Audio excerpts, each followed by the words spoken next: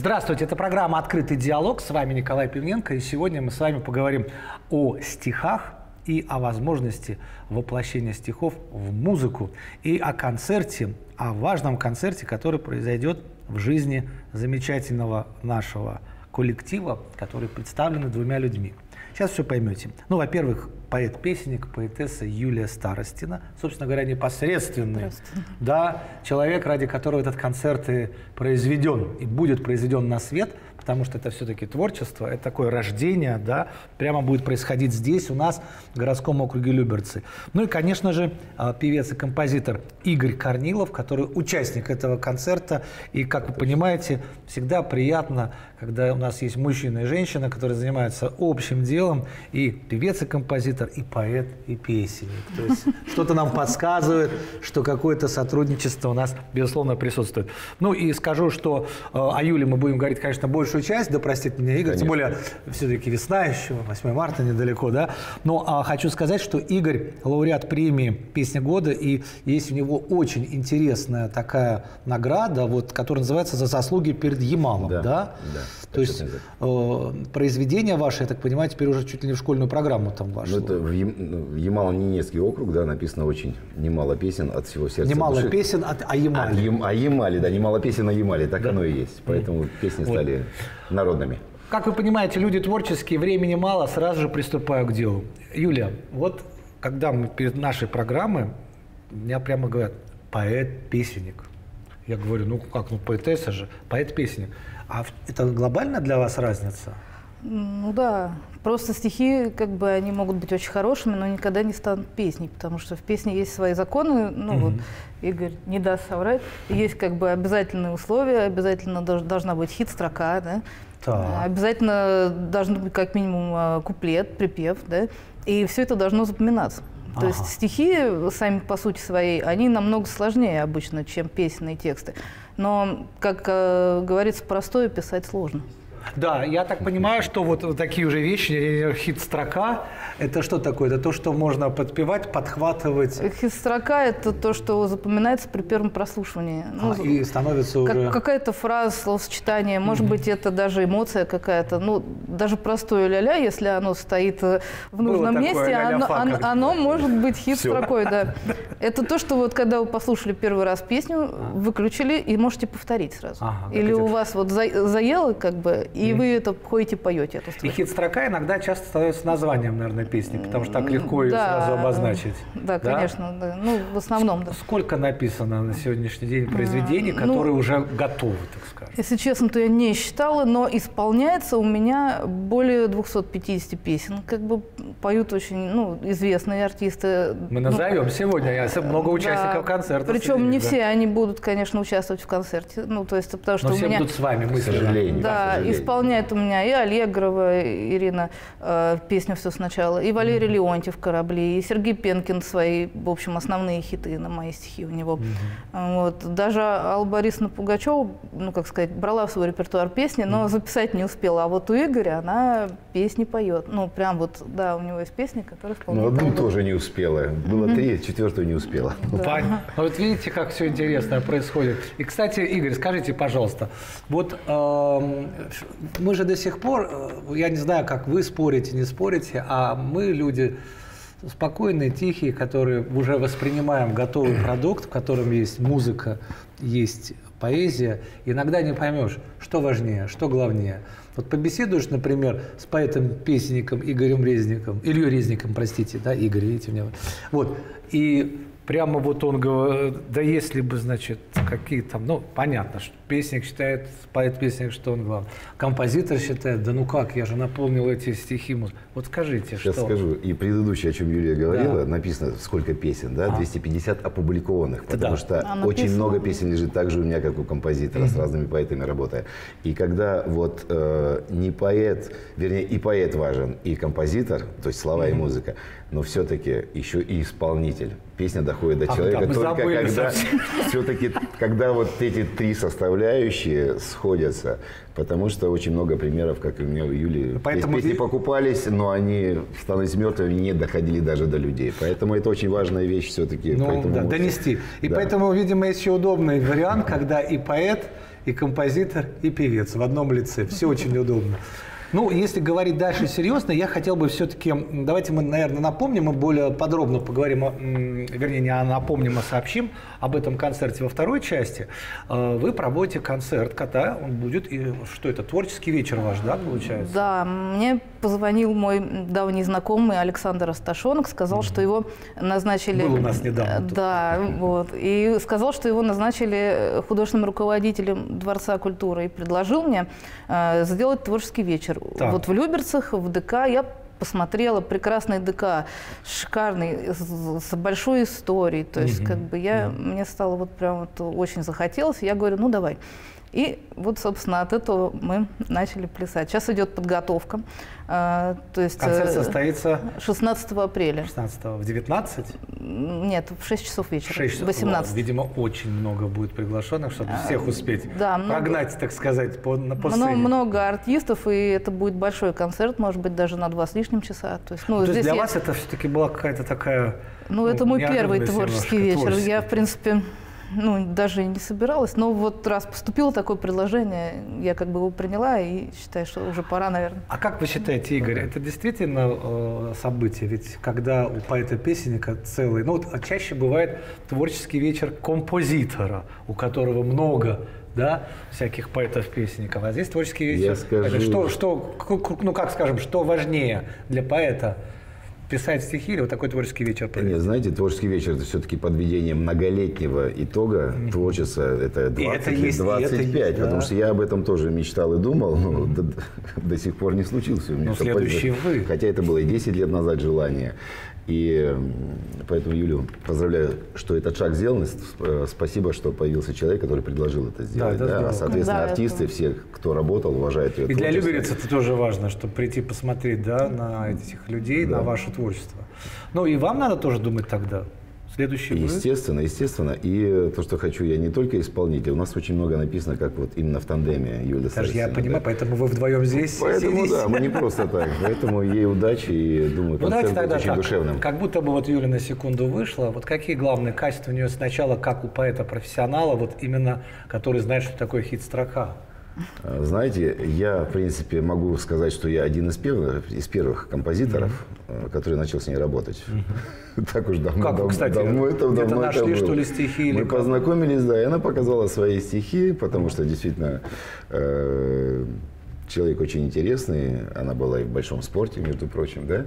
И когда показала первые стихи, мы сделали набросок, какие-то детские песни какие-то. И самая первая песня у нас случилась э, в исполнении, случилась в исполнении Алла Горбачева такая году. была. Да, да, да, была да, «Мой смелый ветер». А. И написано было очень много песен. И что э, в ее текстах, в стихах, они э, в них уже заложена определенная мелодика, да? Ты когда начинаешь писать, Музыка ты стихов. понимаешь, что тебя уже двигает в ту или иную сторону. Есть легкость, есть самобытность, есть интереснейшие фразы, потому что здесь не вымучено, как у некоторых читает, присылается очень много стихов и читаешь. У нее как-то все это легко, гармонично и от души. Поэтому и немало людей поют. Вот Юля вернулась к нам Столько композиторов, да. Юля, да. Юля вернулась в студию. Теперь этот вопрос адресуем ей. Ну, частично она уже сказала, тем не менее. Ну, mm-hmm. я понимаю, что все-таки, с одной стороны, это, наверное, вдохновение, никуда же не денешься. Э, у вас муза или муз есть какой-нибудь? Да. Как, как приходит к вам это? Или, например, все-таки есть еще профессиональный подход. Вот нужна песня, да, ну какие-то друзья говорят, вот мне нужно что-нибудь такое, что-нибудь это, про весну что-нибудь. И вы приходите, садитесь к кофейку, давайте про весну. Как Сейчас это? уже, конечно, да, профессионально. То есть можете написать? Да, могу. Ну, главное, чтобы времени было не сутки, а хотя бы дня три. Открывает чемодан. А что, и сутки? Бывает и сутки, бывает, звонят, говорят, завтра... Открывает чемоданы с неизданным и начинает смотреть так. Что-то Весна у меня слева.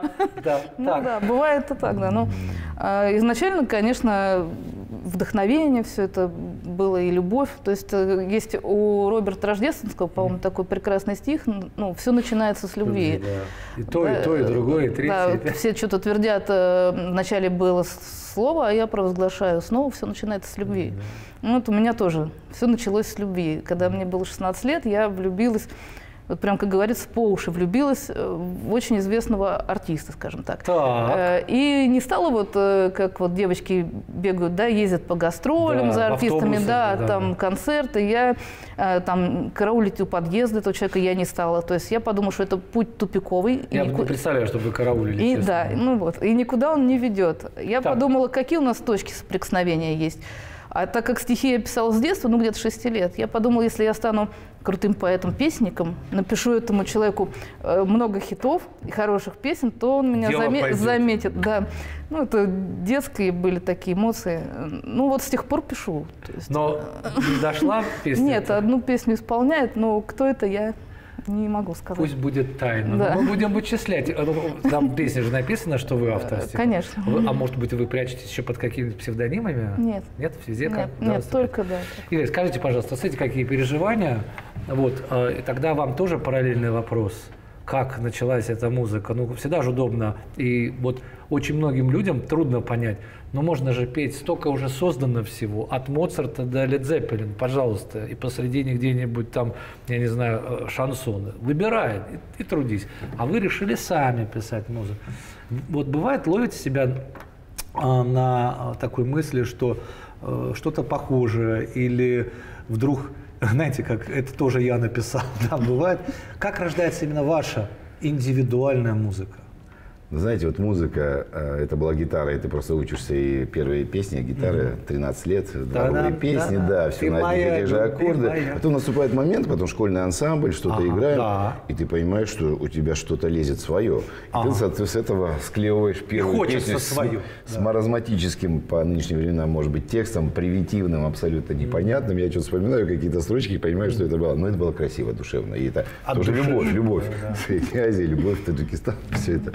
А, написание песен это все равно дается свыше, как и поэтам. Э, Можно становиться уже э, ремесленником, как сейчас вот в такие времена, вот когда заказ конкретный поступает.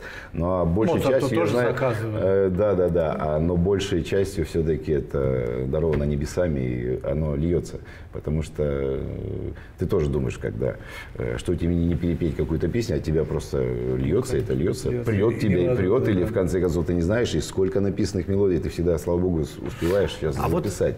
Но не все становится песней. Это да, ну как, вообще не все. А когда замечательные стихи, вот э, я тоже писал стихи, первый альбом у меня был «Девочка гитара», группа, группа «Дети Арбата» была при Мигуле, все это давно было, и я первый альбом писал сам.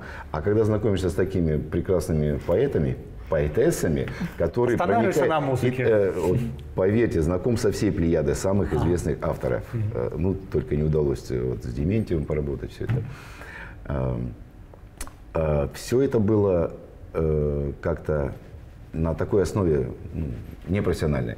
А когда вы с- знакомишься с людьми, Да. и ты понимаешь, что они говорят, и ты чувствуешь то, что ты видишь в их стихах. И, и получается гармония, И, и, рождается получается, песня. и получается, как сейчас говорят, техническое название продукт, но именно или контент. Хорошая песня. но Для это души. Для Песня для души. души. Вот перед тем, как э, завершить первое деление, и во втором, мы будем концертными уже говорить, во втором отделении уже расскажем вам о том, кто планируется, для кого вы пишете, с кем вы сотрудничаете, и вообще как все будет проходить, потому что там есть определенные приятные моменты для тех, кто захочет прийти на концерт.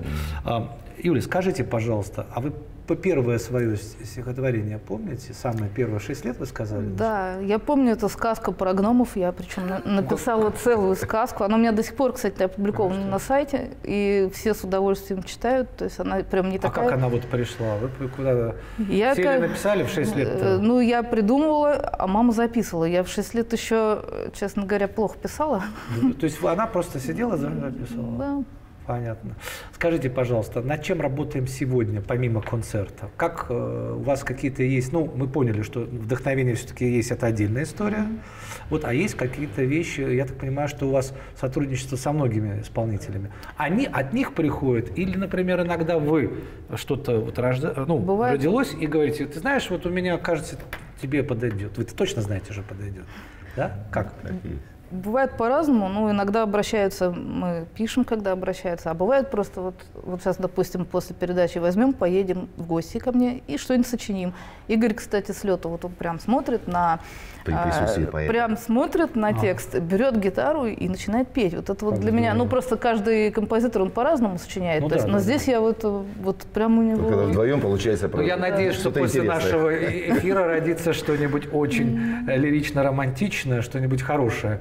Потом, может быть, вы вспомните, вот были мы на одной передаче. Но сейчас мы сделаем перерыв, переведем дух, после чего вернемся в студию и расскажем о концерте, о первом творческом вечере, который пройдет здесь, в Люберцах, в Дворце культуры.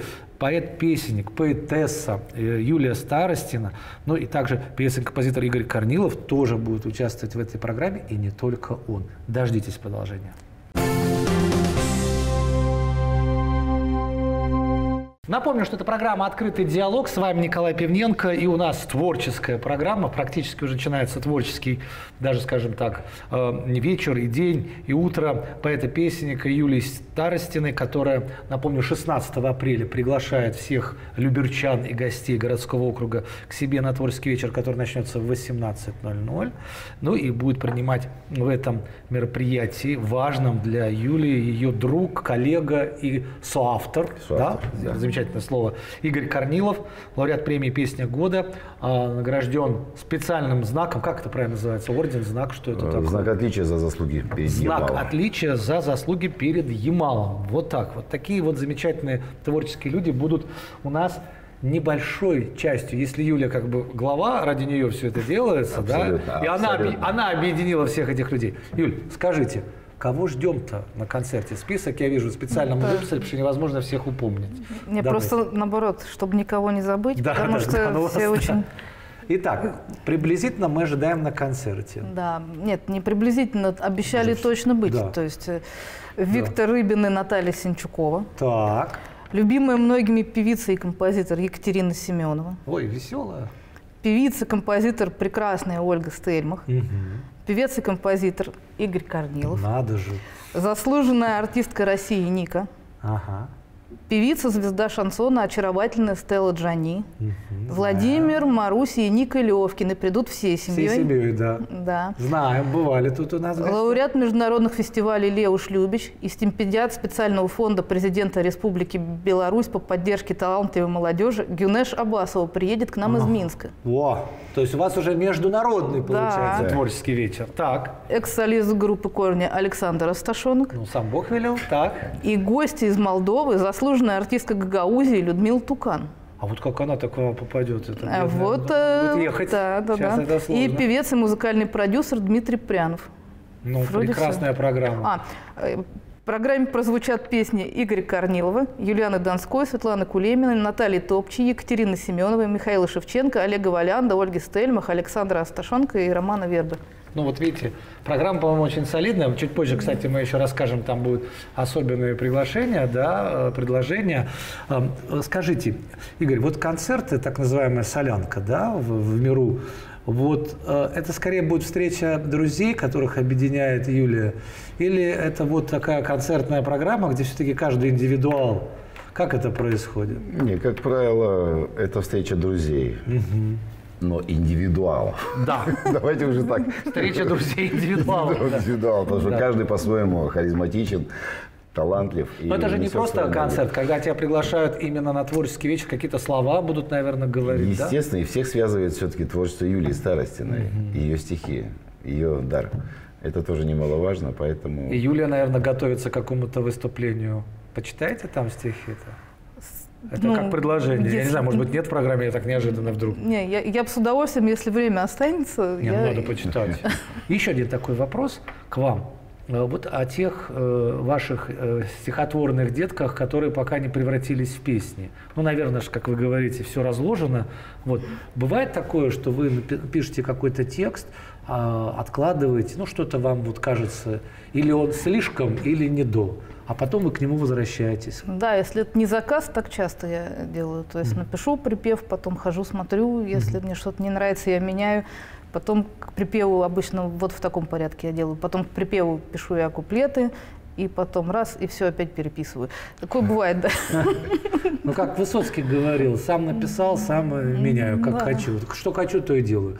Э, вот э, когда вы слышите ваше произведение, да, сейчас вот спрошу и у поэта, и у композитора, когда вы слышите свое произведение, то есть вы его писали, вы его придумали, вы выстроили этот ряд, вы глазами его читали, и когда вы слышите, как вот исполняется, вы помните же это ваш текст или иногда уже забываете, что? Нет, я, кстати, все свои тексты, стихи все, ну, может быть, э, ну, почти все, скажем, помню наизусть. А уж те, которые исполняются, я их помню на сто процентов. Потому угу. что ну, у меня вот с детства такой талант, хорошая память на стихи. Я поэмы все это наизусть прям вот всякие. Мне на, в школе можно было два Господи. раза стих прочесть. Поделитесь стихи. с нами этой памятью. Ну, это только на стихи. Вот только телефоны, скажем, я не запоминаю. А, ну вот видите, а я телефоны запоминаю. Вот ну, да. мне не повезло. А, Игорь, скажите, пожалуйста, вот приедут э, ребята, а, но я так понимаю, что, в общем-то, еще давненько у нас не было, да, таких концертов здесь в Люберцах, чтобы так вот глобально самые разные направления и так далее. Кто-то эту программу выстраивал? Как, как, э, Или Юлия вы... режиссер и постановщик, и Нет, вдохновитель. Саша Сташонок. Э, а, все-таки. Да, это я, я со стороны... Мне... Мы сейчас, кстати, вернемся. Там интересно будет про танцевальные коллективы, вообще про коллективы, которые mm-hmm. будут принимать участие. Но я еще должен и вам задать вопрос. Когда вы слышите свое произведение музыкальное, что с вами происходит? И даже иногда, может быть, себя, когда слышите, исполняя свои произведения со стороны. Вот, например, так же, так было с песней «Май», например, ага. Арбагайте. Я, песня была в работе, и не, не было ответа, берется, не берется, причем ее изначально там, Алла Борисовна пыталась записывать. И просто радиостанцию включаю, русское радио, ну, я слушал просто, естественно, всех исполнителей, и слышишь что-то знакомое май. по вступлению. Даже вступление это все придумано мной. А что такое? Думаешь, что-то знакомое. И второй раз слышишь песню, понимаешь, что это твое. Да? Откровение такое и приятность. Потом выясняешь, что, ребята, ау, я же автор. Э, мы я тут, ни да. о чем не, не, не договорились до конца. И потом, ну, это, э, знаете, э, свою мелодию всегда услышишь. Даже в, были какие-то вещи, когда слышишь какое-то произведение, ты понимаешь, что позаимствовали у себя. Но в моей ситуации, как правило, что-то новое пишешь, и ты ну, нехорошее слово, но крадешь опять же у себя. Слава ага. богу, это происходит так. Ну, как художники могут переписать свою но когда картину, слышишь да, еще, то, да. что ты создал, да, с, с, а. с Юлей или с кем-либо, ты действительно, если это качественная души, как говорил в начале программы, mm-hmm. если три составляющих сходятся, музыка, слова и исполнительский талант, это получается стопроцентный шлягер, и песня ну, живет долгие-долгие да. годы. Самое интересное, эта песня уже превращается в какую-то такую атмосферу наш, во многих людях. Кому-то больше нравится, кому-то меньше, кто-то с удовольствием послушает один раз. Кто-то, может быть, запишет и будет, и будет заказывать ее в караоке. А это всегда это хороший показатель. Не встречалось вам такое? Был такой случай, я уже рассказывал, когда Меладзе когда-то где-то пел своим голосом, ну что-то, видимо, в караоке, ему было написано, вам надо учиться петь. А. Нет, учиться петь лучше, да. Вот. А, Юль, у нас времени, к сожалению, немного, а у нас еще есть сюрприз. Когда приходят творческие люди, у нас всегда есть сюрприз. Скажите, там есть у вас, вот э, выписали себе какие-то интересные вещи, давайте мы их озвучим. При продаже билетов, так. Э, э, ну, как бы сказали, что будут для пенсионеров и для детей многодет... для многодетных семей, да, многодетных семей будут, значит, э, скидки, скидки 50%. Вау, хорошо. вот, чтобы получить эти скидки, э, нужно позвонить вот по телефону угу. плюс 7 495 554 22 79. Это телефон КАС а, Люберецкого ну, ДК. Да, да, в КАС, да.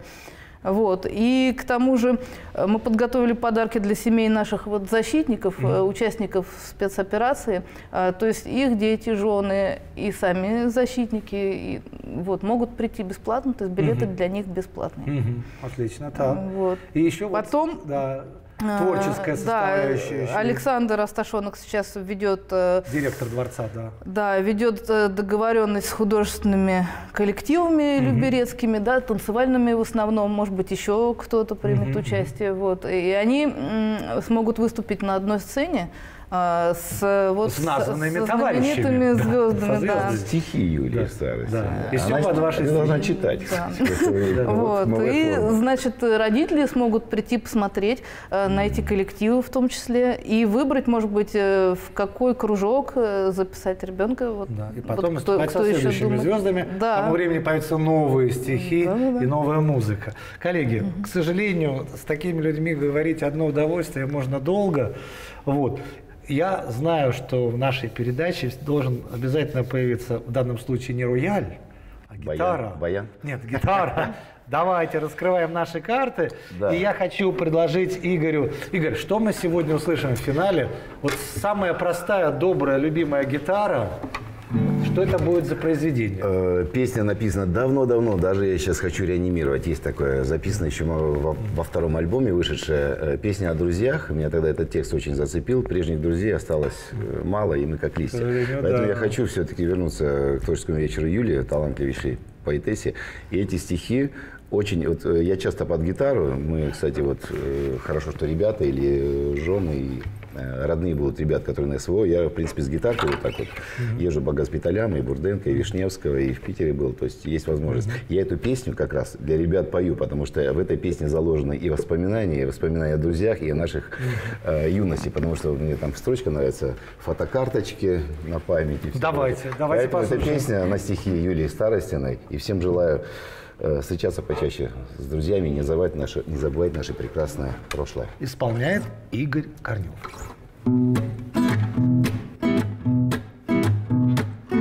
Прежних друзей осталось так мало рядом Мы словно листьев стайка из листопада Ходим друг к другу в гости. Только на праздник То в зеленом, то в красном Исчезая порой Закружит наши сны листопад. Завертит карусель свою осень а листья все летят и летят, Как будто разлетаются гости. Фотоальбом на память, мысли, страницы, Часто в дожди листаю. Я наши лица, Первой любви читаю. Странные строчки, Запятые точки, словно птицы и сны. Закружит наши сны листопад, Завертит карусель свою осень, А листья все летят и летят, Как будто разлетаются гости. Закружит наши сны листопад, Но ты не отпускай мои руки, С тобою мы, как прежде любя, Перезимуем осень разлуки. Прежних друзей осталось так мало рядом, Мы словно листьев стайка из листопада. Ходим друг другу в гости только на праздник. То в зеленом, то в красном Исчезая порой. Исчезая порой. Исчезая порой вот так не хочется, чтобы вы исчезали сейчас, но, к сожалению, мы все втроем исчезнем буквально через некоторое время. Но в финале все-таки вы э, люди творческие. А, что бы вы пожелали всем телезрителям, которые иногда в песне находят счастье, радость, ответы на какие-то вопросы, на какую-то тревогу, на какое-то, наоборот, торжество и так далее. Мы же не можем без этого, без творчества. Но вы именно те люди, которые его создают, вот этот вот элемент нашей жизни. Вот обращение, что бы вы сказали зрителям сегодня? Я вот всем желаю большого человеческого земного счастья, угу. чтобы как бы все были довольны тем, что они делают, чтобы они реализовывали себя, да, чтобы добивались своих целей, да, и не бросали, главное, вот путь ну, туда, куда они идут, это наполовине. То есть надо все равно пытаться. До конца, да. Да. Игорь? А я хочу сказать, что в это время действительно песня и жить, и строить помогает. Да, и в трудные минуты вот хочу пожелать, чтобы все-таки возвращались к своим забытым каким-то песням, песням юности, да, в которых заложен глубокий смысл. Песен красивых очень много. И также то, что сейчас создают ребята, молодые авторы, не говорю о Чтобы нас да, это согревало. Э, чтобы да. все-таки музыка согревала. И Хочется, конечно, гармонии в душе. Потому Да. что музыка – это гармония. Чтобы у каждого из зрителей была гармония в душе. Почти тост на ваш творческий вечер, на ваш концерт, который обязательно закончится таким музыкальным, поэтическим шампанским, которое вы все можете попробовать с помощью замечательных исполнителей, которые придут на концерт Юлии Старостиной аж 16 апреля в 18.00. Я думаю, что будет долгий концерт. Спасибо вам большое. Спасибо. Спасибо вам. Это была программа «Открытый диалог». Всего вам доброго. С вами был Николай Пивненко. До свидания.